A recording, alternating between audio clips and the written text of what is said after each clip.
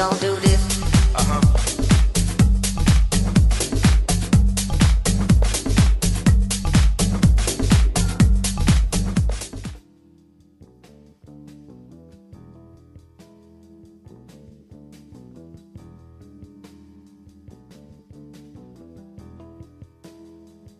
პროფესიით ვარ მსახიობი, ასევე რადიოწამყვანი და უკვე ტელეწამყვანი ჟურნალისტი. ვიქნებოდი ადამიანი, რომელსაც ძალიან დიდი შესაძლებლობები ექნებოდა, როგორც ფინანსური, ასევე როგორ გითხრა, ავტორიტეტული, რომელიც დროებით ვიქნებოდი ასეთი ადამიანი, რომელიც ძალიან ბევრ ამის შეცვლი და რეალურად დღეს ჩემს ქვეყანაში თუნდაც გულისხმობ ყველაზე მეტად რაც არის შესაძლებელი ალბათ სოციალურ-ეკონომიკური მდგომარეობა. ვიქნებოდი ასეთი ტიპი. საკუთარ თავში მომწონს თავდაჯერებულობა, მომწონს ის რომ ბევრი საქმის ერთდროულად კეთება შემიძლია და მომწონს ის რომ მომწონს საკუთარი თავი. კუმირები მყავს ჩემს პროფესიაში, გულისხმობ სამსახიობო პროფესიას, არიან ასეთი ადამიანები. უამრავი მსახიობია, ვინც არის ჩემი კუმირი, ვერ დავმალავ ნამდვილად. ერთადერთი რაც შემიძლია არის თხილამურებზე სრიალი. დანარჩენი სპორტის სახიობაში აი აბსოლუტური დილეტანტი ვარ სამწუხაროდ. ქონო და ღილაკები, რომლითაც ძალიან ბევრ ამას გავაკეთებდი. ეს ღილაკები უნდა ყოფილიყო დამონტაჟებული ჩემს ხელზე და ყოველი სურვილის ასრულება ამ ღილაკების მეშვეობით წარმომედგინა. ეს მინდოდა ყველაზე მეტად, სულ ამაზე ფიქრობდი. ნიჭი, რომელიც მინდა მქონდეს, ხატვის ნიჭი არ მაქვს სამწუხაროდ.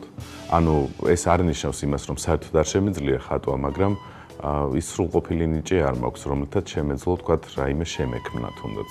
ჰობი მაქვს, იცი რა, ასტროლოგია, ჩემი ჰობი ერთ-ერთი გატაცებაა, ძალიან მაინტერესებს.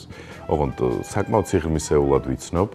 რაც ძალიან მეხმარება სხვათა შორის ადამიანების რაღაცა ფსიქოლოგიის შეცნობაში.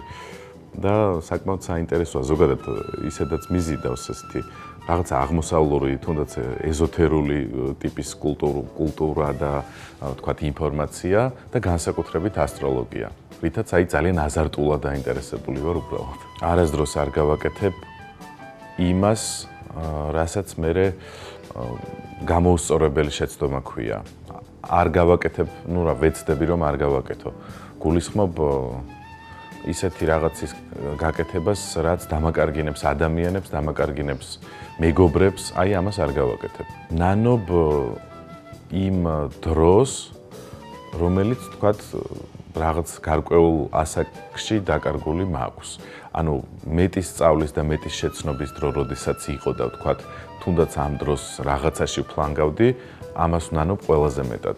სხვას ისეც არაფერს. პირველი კოცნა მოხდა ბახში. ძალიან საინტერესო იყო. აა როგორც აღმოჩნდა, საკმაოდ ისეთი როგორ თქვა, გარყვნილი ბავშვი ვიყავი.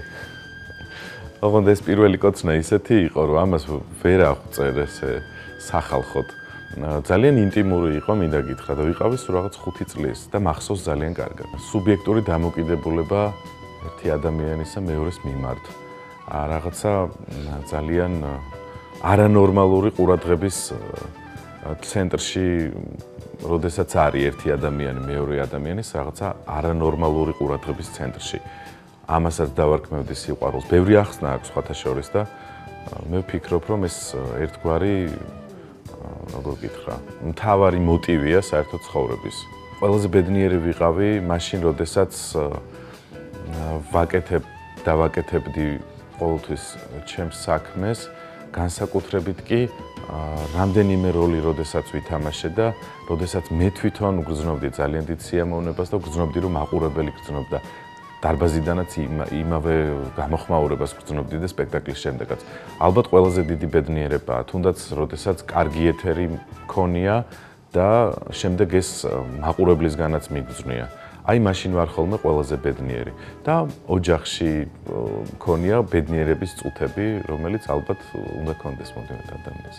ქალი ჩემთვის არის ვენერა, სილამაზე მშვენიერება და სრულყოფილების მეორე მხარე, მეორე ნაწილი, თუ პირველი ნაწილი სრულყოფილებისთვის ის რაც საჭიროა, არის ქალი, რომელიც ავსებს სრულყოფილებას. ანუ არ ვიტყოდი მხოლოდ ქალია სრულყოფილი. ანუ ქალი გვივსებს სრულყოფილებას. და ვფიქრობ, რომ სრულყოფილი ქმნილებაა. ჩემს პროფესიებში ყველაზე მეტად მომწონს ის, რომ შემიძლია ვთქვა და ამ ამ სათქმელით ვეცადო ყოველ შემთხვევაში იმას, რომ რაღაც რეალობა შევცვალო. ვთქვა, გულისხმობ თუ კი სცენიდან ვიტყვი, აუცილებლად ვაჩვენებ კონკრეტულ სახეს ადამიანისას, რომელიც დააფიქრებს, რომელიც არკეში ჩაახედებს, რომელიც შეაზიზღებს რაღაცას, რაღაცას ძალიან შეაყვარებს და ეს შეუძლია ჩემს პროფესიას, სამსახიობო პროფესიას, რაც შეეხება ჟურნალისტიკას, ვფიქრობ, რომ აქ უფრო მეტად შეიძლება უფრო დიდი ფართო რაოდენობის საზოგად ფართო მასაზე შეიძლება ზემოქმედება კარგი გაგებით იმ ხრივ რომ შენ შეგიძლია ათქმევინო და თქვა ის რაც ხვალ უკეთესობას და უკეთეს ვითარებას შექმნის საზოგადოებაში. საზოგადოებაა ჩემთვის ძალიან მნიშვნელოვანი და ჩემი პროფესია ემსახურება საზოგადოებას. ამიტომაც ვფიქრობ რომ ეს არის მთავარი. სისულელე მაგალითად ჩიტი დავმარხე ბავშვობაში და არ არის სისულელე, მაგრამ ადამიანებით დავიტირე. კონია ესეთი.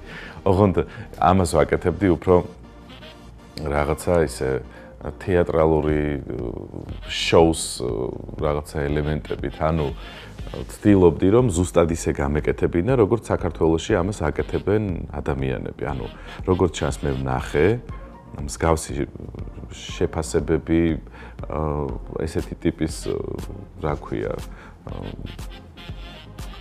დატირებებზე და შემდეგ იგივე ცერემონიალი მოუწყვე ჩიტს. ოღონდ თავისი აი გაცილებით როგორც საპატიო ასე ვთქვათ რაღაცა საპატიო ყარაული რომ მიაცილებს. ანუ რაღაცა გავაკეთე და ეხა ამ გადასახედიდან რო უყურებ რაღაცა ბავშვური სისულელე იყო. მეგობრები და საყვარელი ადამიანები ეს არის ყველაზე საუკეთესო რაც მაქვს. არ მჯერა, როდესაც ადამიანები მესაუბრებიან და ოღონდ ძალიან მნიშვნელოვანს როცა მეუბნებიან და გვერდზე იყურებიან. გვერდზე გააპარებენ თვალს, მაშინ ამჯერა. ანუ ნაკლებად მჯერა. ძალიან ბევრი ვინმის ვინმეს გაცნობა მინდა ზოგადად. თუმცა ზოგჯერ ვისი გაცნობაც მინდოდა არ მიცდია და ისე გამიცნია ყოფილან ასეთი დიდი მსახიობები ბავშვობაში რომ მიოცნებია რომ გამეცნო და შემდეგ გავიცანი. ალბათ არიან ასეთები ჰოლივუდში ბევრი მათგანი ცოცხალი აღარ არის და სამწუხაროდ ვერ გავიცნო, თუმცა მინდა რომ გავიცნო. ძალიან ხშირად ვიყენებ სხვა ადამიანების ფრაზას რომელიც შემდეგ ძველდება და მე გადავდივარ სხვა ადამიანის ფრაზაზე. ოღონდ უფრო მეტად ამ ყველაფერს ვიყენებ იუმორის თვალსაზრისით. ჩემი დამახასიათებელი არ მახსოვს რა მაქვს. ჯერა რომ დაუბრუნდები იმ ქალაქში, საიდანაც ვარ. წარმოშობით. ჯერა რომ ეს დღე დადგება. როგორ და რანაირად დამდვილად არ ვიცი და ამაზე სამწუხაროდ პასუხს ვისაც არ უნდა დაუსვა შეკითხვა, თუნდაც პირდაპირ ეთერში, როცა პოლიტიკური ток-შოუ მიმყავს. ზუსტად ვიცი, რომ ვერავინ ვერ გამცემს და არც სამ ალბათ ასეთ შეკითხვას, თუმცა მე მაინც ვიცი, რომ იქ დავბრუნდები, საიდანაც ვარ გულისხმობ აფხაზეთს და კონკრეტულად სოხუმსაც დავიბადე. ბოლოს ვიტირე ფილმზე. ქონია რთული პერიოდები, განსაკუთრებით ბავშვ 90-იან წლებს გავიხსენებ. პატარა ვიყავი მაშინ, იყო ძალიან რთულები, მაგრამ ფიქრობ, რომ ამ რთულმა პერიოდებმა რაღაც დადებითი მოახდინა ჩემს ცხოვრებაში. მეტი სტიმული, მეტი მოტივი მომცა და არ გამაბოროტა, პირდაპირ ვიტყოდი. არ გამაბოროტა. თუმცა ალბათ ოჯახიდან გამომდინარე იყო ეს ყველაფერი, რომ არ გამაბოროტა ამან. იმიტომ რომ ძალიან ბევრი ადამიანი მინახავს შემდეგ უკვე შემდეგ წლებში შეცვლილი. სრუნვას ნიშნავს ჩემთვის ოჯახი. პირველი სიყვარული ეს იყო როდესაც ვიყავი ძალიან პატარა ალბათ ძალიან პატარა ვიყავი. და კარგად მახსენდება ძალიან სხვათა შორის, იმიტომ რომ ეს არ იყო სიყვარული, რომელიც რაღაც ბავშვები რომ მოიგონებენ. ეს იყო სიყვარული თავის ყველაფრით, ანუ სილამაზით რაღაცა სილამაზით გამოწვეული, მშვენიერებით, ნიჭიერებით ასევე გამოწვეული იყო რაღაცა რაღაც გრძნობით, რომელიც ვიგრძენი ზაფხულში ზღვის პირას ერთი გოგონას მიმართ. და იქვე ძალიან ბევრი ადამიანის წინაშე გავუმხილე, იმიტომ რომ ვისხედით და მქონდა ესეთი რაღაცა თამაში, ანუ რომ დატრიალდებოდა ის არის, ვისთანაც მოხდებოდა იქ სანთელს გამდნენ და რა ქვია მაგ თამაშს არ მახსოვს. აი მაგ დროს გამოუტყდი და უთხარი. აი იგი იყო პირველი გრძნობა. შემდეგ ძალიან ბევრჯერ მქონია პრინციპში. სიყვარული, თუმცა იშვიათად ისეთი, რომელიც რომელსაც ძალიან დიდი ენერგია მიაქვს. და მე მაინც მგონია, რომ სიყვარულს ადამიანისგან მიაქვს ძალიან დიდი ენერგია და თან ავსებს. აი რაღაცა ცვლა ხდება მაგ დროს. რაღაცა სინქრონიზაცია ხდება რაღაც საოცარი. და მე ფიქრობ, რომ ყოველთვის უნდა იყოს შეყვარებული ნებისმიერ ასაკში სხვადასხვანაირად. თუ კი მithქვამს რაიმე ადამიანზე და აღმოჩნდა, რომ ის ადამიანი სადმე სადმე ახლოს არის. აი ეს მწვენია. ქონია მომენტები, როდესაც ოღონდ ხუმრობით და აი პირდაპირ ვიტყოდი ესე ღადაობით მithქვამს რაღაც და აღმოჩნდა, რომ ეს ადამიანი აი ყველაზე მეტად მაშინ მწვენია. ყვითელ ფერს. ყვითელს. მაპატიეთ რა გადაცემა ყვითელია. მაგრამ ვფიქრობ რომ ყვითელს არ ჩავიცვამ არასდროს აი განსაკუთრებით ესეთი ყვითელი რო აი რაღაცნაირი ყვითელი. ნუ არ ვიცი. რატომ არ ვიცი? შეიძლება ყვითელი ანუ მიყვარს თვითონ ყვითელი ფერი ყვითელი გადაცემებიც მიყვარს სხვათა შორის მაგრამ ტანსაცმელს ვერ ვგუობ არ ვიცი რატო ვერ ახსენე ფსიქოლოგს უნდა ვკითხო ყოველი ჩემი თქვათ როლის თამაში იგივე თეატრში ყოველი ეთერი ეს ხო კომპლექსია. on კარგი გაგებით კომპლექსია ცუდი არ არის. ნამდვილად. ანუ ეს არის კომპლექსი იწყება თვით ცენზურა თვით კონტროლი და ამის გამო შენ რაღაცა ჩარჩოებს იწესებ და ამ ჩარჩოებში ცდილობ რომ გააკეთო ის რაც ძალიან გიდა რომ გააკეთო ანუ ეს ჩარჩო ყოველთვის არსებობს. რასაც სხვა კომპლექსი, რისი კომპლექსი მაქვს. ისეთი პიროვნული კომპლექსი არ მაქვს. გარეგნობის რაიმე კომპლექსი არ მაქვს. ფიქრობ რომ არასრულფასოვნების რაიმე მაგვარი კომპლექსი არ მაქვს. და კარგია იქ. ალბათ. ყველაზე სექსუალურ ქალებს შორის ასახელებენ ძალიან ბევრს. მონიკა ბელუჩიდან იწყებენ და თქვათ თავდება ანჯელინა ჯოლთან. თუნდაც ჩვენთან ძალიან ბევრი ლამაზი ქალია. ესეთი კონკრეტული სექს სიმბოლო მოგითხრა ბევრი მყავს ეგეთი. ოღონდ სხვადასხვანაირი აბსოლუტურად სხვადასხვანაირი და არა იმ კრიტერიუმებით მხოლოდ რომლითაც გამოარჩევენ ხოლმე ზედაპირულად ასე ვთქვათ, თუმცა ძალიან მაგარია, მაგრამ მე ძალიან მომწონს სხვადასხვა რასის სექსუალური ქალები. ფიქრობ, რომ ამ ყოველ რას თითოეულ რასაში რაღაცა თავისებური პირდაპირ ვიტყოდეს სექსუალური მუხტი დევს. შავკანიანები ძალიან მომწონს. ალბათ ნაომი ძალიან მომწონს. ყველაზე მეტად თეთრკანიანზე მეტად უფრო საინტერესოა ჩემთვის. რამდენადაც ბევრისთვის შეიძლება გასაკვირი იყოს სამწუხაროდ. ძალიან კარგად მახსოვს ჩემი ძაღლი მახსოვს კარგად რომელიც როდესაც მოხდა ომი ძალიან ერთგული იყო ჩვენი წამოვიყვანეთ, როდესაც ჩვენ წამოვედით და შემდეგ თუ კი გაიგებდა თვითფრინავის ხმას, შემორბოდა ხოლმე სახლში, შეშინებული, იმიტომ რომ მეგონა რომ ისევ რაღაცა ჭურვები და დაბომბვა იქნებოდა და აფარებდა თავს. და მის თვალებში ძალიან კარგად 6 წლის ასაკში თუ რას ნიშნავს ჩემთვის ომი ზაღლის თვალებში შემეძლო რომ ეს ამომეკითხა და ანუ აქედან მიმხვდარიყავი რას ნიშნავდა ჩემთვის ომი რომ მე ბავშვი ვიყავი და ისე არ მესმოდა. აი ჩემი ზაღლის რეაქციიდან გამომდინარე ხდებოდი ალბათ ეს არის ყველაზე ესეთი მძაფრი რაც შეიძლება ბავშვმა დაიმახსოვროს.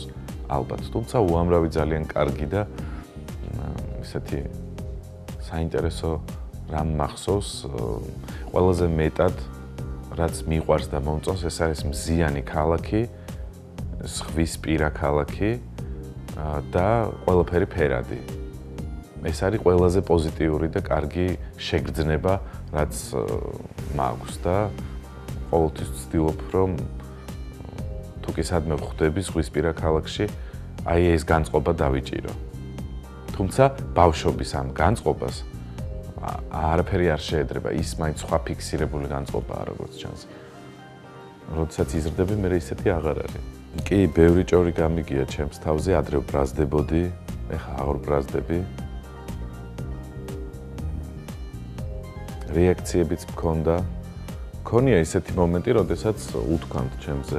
ძალიან ბევრი ადამიანი ვიცი, ვისაც კონკრეტული რაღაც უთქვამს ჩემზე და ამას მიყვებოდნენ სხვა ადამიანები, თუმცა მთხოვდნენ რომ არ ეს ინფორმაცია არ გამეჟღერებინათ და დღემდე არ გამეჟღერებია და ის ადამიანები, რომლებიც რაღაცას მიგონებდნენ ან ამბობდნენ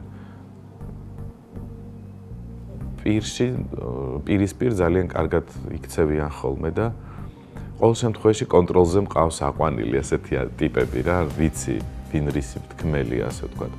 მაგრამ ადრე ძალიან აფექტური ვიყავი ახლა ვცდილობ რომ არის რაღაცა, რასაც აღარ ვაქცევ ყურადღებას, თუმცა არის რაღაცა, რასაც შეიძლება ძალიან მივაქციო ყურადღება. ანუ რასაც წლების წინ ყურადღებას ვაქცევდი, აღარ ვაქცევ. სხვათა შორის აი თავისით ქრება მე ნელ-ნელა ესეთი რაღაცები და მეც არ ვიტოვებ დიდად ადამიანებთან საკონფლიქტო თემას. ხო რო გითხრა რომ ტრედი ვარ და ძალიან ისეთი რაღაცნაირი ყველასთან კარგად ვარ, რა თქმა უნდა, ეგრე არ არის, მაგრამ ყოველ შემთხვევაში რაღაცას პატიობ ალბათ, ალბათ იმას, რაც ჩემზე გამიგია და თანაც ისეთი ძალიან არასასიამოვნო. სიზმარში ძალიან დიდი ტალღის. არ ვიცი რას ნიშნავს, რაღაცა განმარტება ექნება ამას ალბათ. რატომ დიდი ტალღები? სიბნელეში ანუ ხამეა და წარმომიდგენია უზარმაზარი ტალღა როგორ მოდის. აი ეს შეგრძნება. ოღონდ ძალიან მომწონს ეს შეგრძნება თან. ცუნამი ღამით. რა საინტერესოა რა? ოღონდ რომ ხედავ რომ მოდის. და გველი, სხვა ისეთი არაფერი. ფობიები არ პაწუხებს არანაირი სხვა შორის. დილას ადრე გაღვიძებულზე სვანური. შემდეგ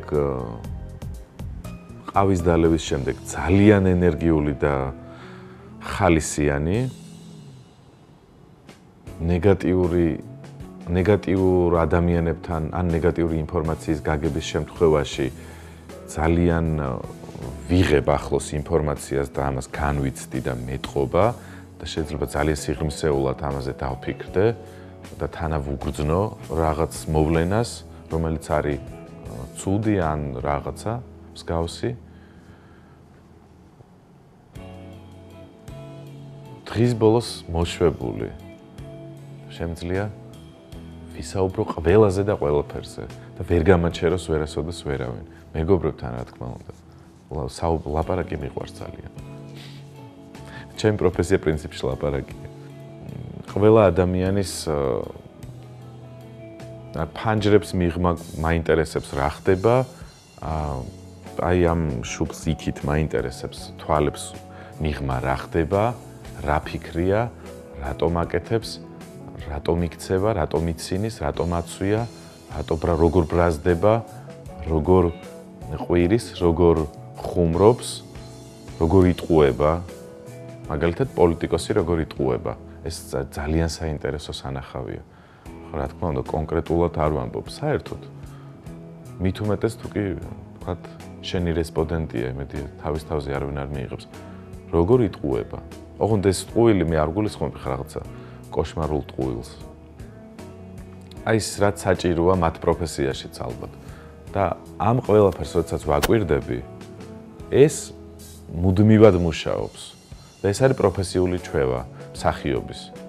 რომ შენ დააკვირდე და გაიგო რატომ და როგორ აკეთებს და შემდეგ შეიძლება გავაკეთო ეს ისე ჩემთვის უბრალოდ საჭესთან ვიყო მარტო და ვიღაცის რაღაცა გავაკეთო თან თან ძალიან მართობს ეს და თან უბრალოდ მოთხოვნილება მაქვს ესეთი და ვფიქრობ რომ ეს არის პროფესიული ჩემზე ამბობენ რა კარგი ბიჭი ყოფილაო. ყოფილაო. იმიტომ რომ ხშირად ხდება ისე რომ ვიღაცას ამბიციური ვეჩვენები, ვიღაცას საერთოდ უემოციო ვგონი ვარ. გააჩნია ადამიანი რომ გამიცნობს კონკრეტულად რა სიტუაციაში მოხდები, ყველა ეგრე ვართ მართალია, მაგრამ სხვადასხვანაირი ადამიანის შთაბეჭდილებას ტოვებ და რამდენიმე საათში ან რამდენიმე წუთში შესაძლოა აბსოლუტურად გამოიცნოს ჩემი ნამდვილი რაობა. Ну ის მე რომელიც თქვა ყველასთვის საერთოა. და ვფიქრობ რომ ჩემზე ამბობენ რომ უი კარგი ბიჭი ყოფილაო. ეს ო ძალიან მნიშვნელოვანია. რაც არ უნდა გადამიხადონ, არ გავყიდი და არ ვუღალატებ. მარტივად ძალიან ბანალურად ჟღერ შეიძლება მაგრამ ერთადერთი ეგ, იმიტომ რომ იმდენი რამე შემიძლია რომ გადამიხადონ, იმდენ რამეს გავაკეთებდი, ძალიან ბევრ ამეს. აი რას არ გავაკეთებდი, არის ეს ალბათ. გაუცდებიან თუ გაიგებენ, რომ პროფესიით ჟურნალისტი არ ვარ, ის ადამიანები, ვინც პირველად გამიცნო გადაცემიდან, ეკრანიდან, სადაც პოლიტიკური ток-შოუ მიმყავდა. ისინი ნამდვილად გაუცდებიან. უფრო მეტად ჟურნალისტები გაუცდებიან ხოლმე ამაზე. თუმცა შემდეგ ხვდებიან, რომ თურმე შესაძლებელია ისწავლო სხვა პროფესია, ისე რომ სხვა რაღაც ფაკულტეტი კონდეს დამთავრებული ან სხვა პროფესიიდან მოდიოდე. მე მაინც ვფიქრობ რომ ეს ორი პროფესია ძალიან ახლოს არის ერთმანეთთან. სამსახიობო და ტელეწამყვანობა და ჟურნალისტიკა. თუმცა ვფიქრობ რომ ძალიან ბევრი რამეა მაგ ჯერ კიდევ სასწავლე. ლიბერალი ლიბერალ ადამიანებს, ლიბერალურ შეხედულებებს ვაფასებ კარგ ეტიკეტს, გემოვნებას, გემოვნებიანს და პროფესიონალ ადამიანს, პირდაპირ ადამიანზე ვამბობ. ვაფასებ ასეთ ადამიანებს ნამდვილად და არ არსებობს ჩემი მტერი რომც იყოს ამ თვისებებს არ დაუკარგავ. მაინც ყოველთვის ვიტყვი რომ მას აქვს ეს თვისებები. ჩემთვის წარმატება დაიწყო როდესაც პირველად ვიგრძენი, რომ ყურადღების ცენტრში ყოფნა იყო საინტერესო და კარგი. პირდაპირ ვამბობ. ეს როგორც კი ვიგრძენი და ეს ამით მოვიწამლე, ასე ვთქვათ, მაშინ დაიწყო წარმატება. მე არ გულისხმობ წარმატების მასშტაბს. მე ვამბობ ჩანასახში წარმატებას, ლოკალ ლოკალურ წარმატებას, ის რაც შემდეგ იძლევა კიდე სხვა ناقობს. და ვთქვათ, კიდევ გამოიღებს აუცილებლად მთელი ცხოვრების განმავლობაში. წარმატება არის, როდესაც ყურადღების ცენტრში ხარ და შეგიძლია ჩემი პროფესიებიდან გამომდინარე და შეგიძლია რომ ამ ყურადღების ცენტრში ყოფნით რაღაცები გააკეთო რა. ეგ არის წარმატება. ძალიან დამოუკიდებელი, თავისუფალი და პროფესიონალი ადამიანი საზოგადოება